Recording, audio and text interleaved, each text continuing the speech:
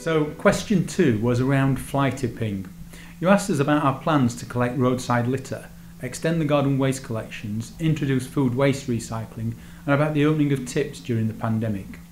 You also asked about our plans to reduce crime, fly tipping, and speeding vehicles through villages.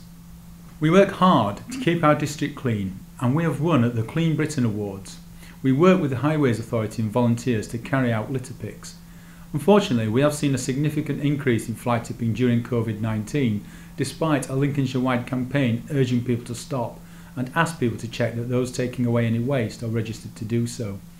This is an issue that is mirrored nationally, and our teams are not only investigating them and issuing fixed penalty notices or prosecuting where quality evidence allows, but they have continued to provide a full street cleaning service throughout the pandemic. Is likely that food waste collections will be mandatory from 2023. Lincolnshire Waste Partnership have carried out a pilot with South Kesteven with a view to rolling the service out across Lincolnshire in future years. With regards to the household waste recycling centres, these are operated by Lincolnshire County Council and they have now reopened and residents can take waste as long as they have booked a slot online.